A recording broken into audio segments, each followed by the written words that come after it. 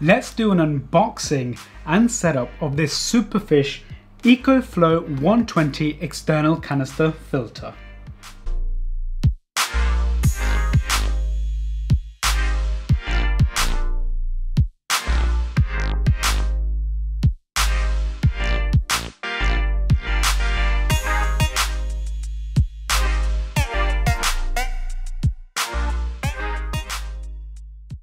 Ladies and gentlemen, welcome back to another episode of Natquascape. If you're new to the channel, consider subscribing so you don't miss out on me setting up different styles of aquascapes, whether the low, medium or high tech planted aquarium setups, and doing unboxings of reviews of products related to aquascaping and planted aquariums.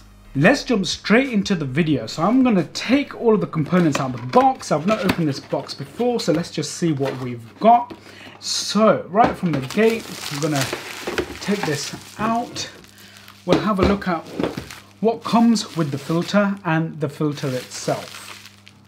Immediately, it's a very small canister filter. We'll go through kind of like the parameters of this filter in terms of flow rate, etc, etc. But I just want to get out the box, show you what we've got. So, it looks like the motor is on the outside, meaning the impeller system. So that might be true. Um, and then we have these four clips. Let's see what we get inside the filter. Um, that just clips on and off, so that's great. You can take you can take these off as and when you need. Um, so we can just do that. That comes off. That comes off, and you can you can take these off as and when you need. So that's great. First thing I want to do is inspect the seal. So that was pretty tough to take off. Um, yeah, the seal is lubricated and it feels like it has a good sealing system as well. And this feels strong and robust actually at the top. So inside the filter we get this ring as well. So sponge, sponge, That's carbon, sponge, and another kind of sieve or mesh, okay, at the bottom. Right then, so easy. It doesn't come in any biomedia, and when I set this up, I'm gonna set it up as is, okay? I'm just gonna keep it like it is and use it like it is. So fairly easy there. That goes on with top. Okay, so it's a small filter. A pump is on the outside here. So I'm guessing that, yep, that unscrews. So again, uh, I've not consulted instructions. I'm pretty bad at that actually. I should always read the instructions. Um, I recommend that you do, even if I don't. Um, yeah, there's the impeller system. Okay, and so that, how easy is that to get back on? Let's have a look. That fits on snug. There's a seal just there as well. Um, so that's that. What do we get in the box? Let's have a quick look. Some green hosing, which right from the start, I am not a fan of green hosing at all. Um, I think what the company can do is actually get some clear hosing sourced. Lots of green hosing, and the diameter of this hosing is, um, according to the box, 9 millimeters internal 12 millimeters outer diameter. Okay.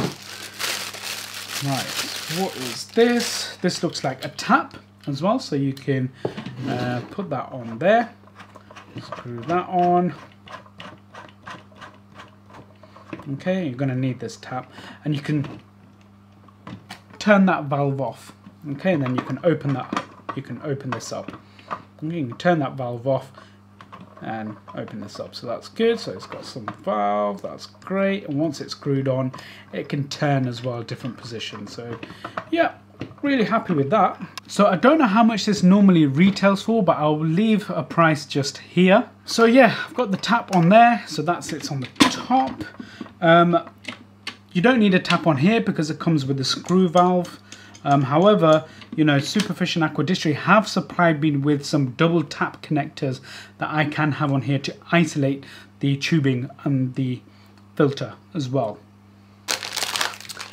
In the packet, oh, No one likes that noise. But this is live. Well, it's not live, but you know, very little editing hopefully is going to go into this video.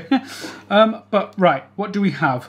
Um, for the inlet and outlet, looks like we've got outlet in one packet and inlet options in another packet. Four suction cups and various bits and bobs in there. In there. And in there. There we go.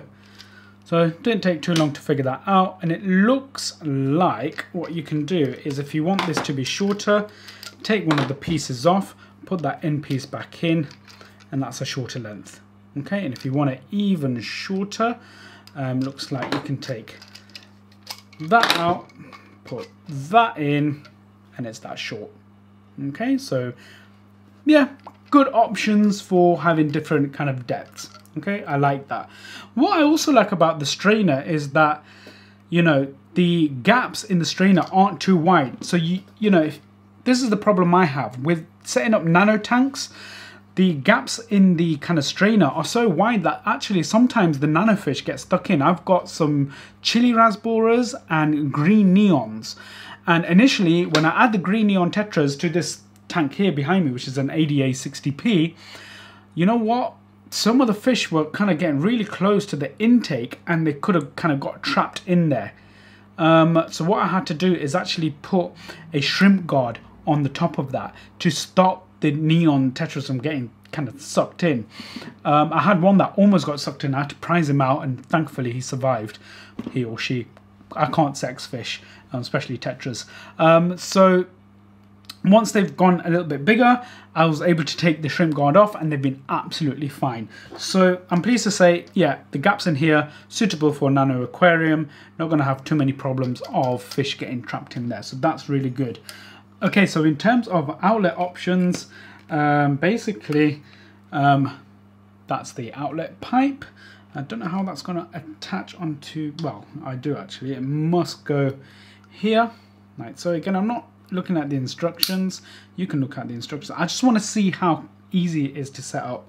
Um, and you can put a suction pad there, uh, like so, and then that will stick onto the edge of the glass.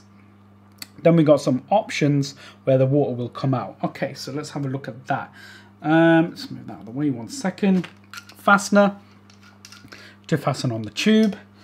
Um, and then what we have our options so that must go on there um, like I had it on before yeah so that came like that um, outlet we can put on does that fit on there so we've got a spray bar but I am a big fan of spray bars in like river streamscapes where you've only got a few plants etc etc I actually might kind of do another type of riverbed streamscape um, that's a bit a bit different as well with the spray bar system and only a few plants.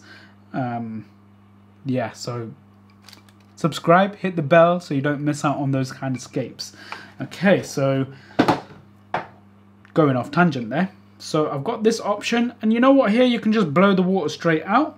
Okay, if you want um, if you want a spray bar, I guess that will have to push on there and that will have to yeah so so that goes on there and that's pretty solidly in. So now you've got an option for a spray bar. Okay, there's your spray bar. So that's good. And any other options that I want? Oh, there's this kind of nozzle as well. Hopefully that focuses in. Yeah. So I've got that nozzle.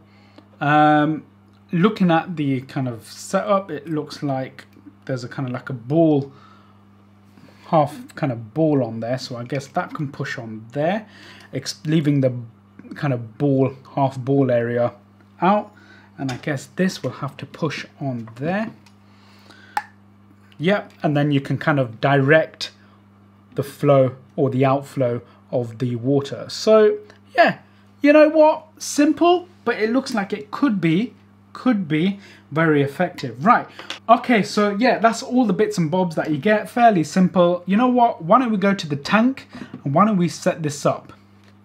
Okay, so here we are at the cabinet and as you can see I've set up the CO2 bottle with the lights and stuff. Um, you've already seen a video of that. Um, working out really well actually, this system. I'm really happy with it. It's on a timer. Um, I've got filter, thermometer, light as well. These cables need tidying up, so why don't I just go and do that one second. Okay, so I'm going to sit the filter on this end here. Um, so basically the tubing is going to go out in this hole um, that I've got up there.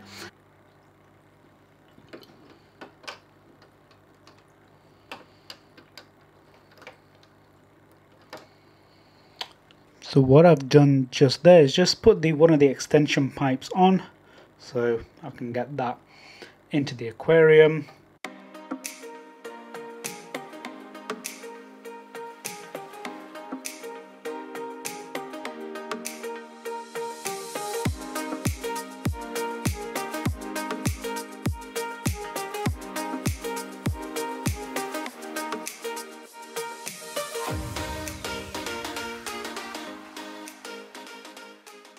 Another pro tip is that on the tubing, run that under hot water and it'll be a lot easier to put onto your inlet and outlet pipes. Another tip is actually put the, the tubing onto your inlet and outlet pipes first. So let's get that on. Push that all the way up. Okay, get your tubing onto the inlet and outlet pipes and then plumb it into your filter. If you do it that way, then you're less likely to get movement of your inlet and outlet pipes.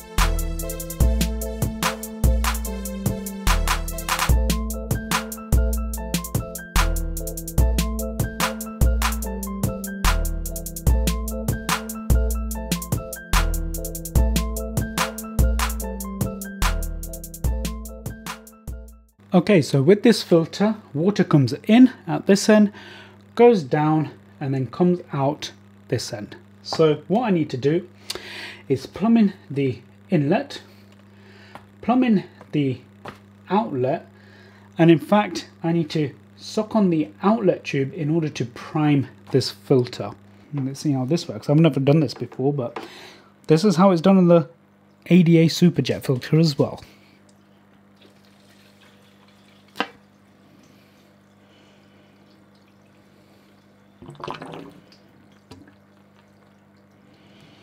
Okay, so that filter is now primed. Put that back on. That wasn't too bad actually. I was dreading that bit, but that was fine. What I like about these fasteners is they've got a good grip on them as well, so you can really get them nice and tight. Okay, so I'm going to plug the filter in now, and then what we can do is just check the flow. Okay, so let's just have a quick look at the flow. So that's the flow. So, you know, this could be used on a aquarium that's about 45 liters or less, and it should do a good job. Okay, so a few stats about this filter in terms of its, you know, performance and some of its parameters. So it states on the box that it's 400 liters per hour. It also mentions that you can filter an aquarium up to about 120 liters. So I know people who have used this filter on Dutch style aquariums and they have got really good plant growth. Um, and the aquarium size is around 90 liters. So they've literally used just this filter on a 90 liter aquarium. And I've seen it for myself that, yeah, they're getting really good plant growth. Um, but this is kind of like a Dutch style aquarium, which doesn't have much hardscape whatsoever. And I don't know how true this is, but you know, people have kind of said that you need around two to four um, times turnover in a Dutch style aquarium so let me know in the comments if you keep a Dutch style aquascape, what is the flow in terms of turnover uh, volume for your Dutch style aquascape? So that is an unboxing and a setup of this Superfish EcoFlow 120 filter. I'll see how this filter beds in and progresses and try and figure out how long it takes me to maintain the filter as well. Okay, so future videos are going to include me scaping different tanks. So hit the notification bell and subscribe to the channel so you don't miss out on all of that content. Until then, see you in the next video. For now, ta